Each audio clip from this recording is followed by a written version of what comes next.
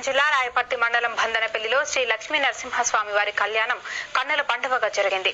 కొమ్మాల ఆలయ పురోహితులు వేద మంత్రోచ్చారణలతో భక్తుల జయ జయ దహనాల మధ్య స్వామివారి కళ్యాణాన్ని వైభవంగా నిర్వహించారు. ఆగమ శాసనానుసారం మృగశిర నక్షత్రయుక్త తులాలగ్నం శుభఘడియల్లో వివాహ ఘట్టాన్ని ఘనంగా నిర్వహించారు. వేలాదిగా తరలివచ్చిన భక్తులు స్వామివారి కళ్యాణాన్ని కనుల తిలకించి పులకించారు. దివ్య ముహూర్త సమయమైన అర్ధరాత్రి ఎనిమిది గంటల ముప్పై రెండు నిమిషాలకు మంగళసూత్ర ధరణను పండితులు రమణీయంగా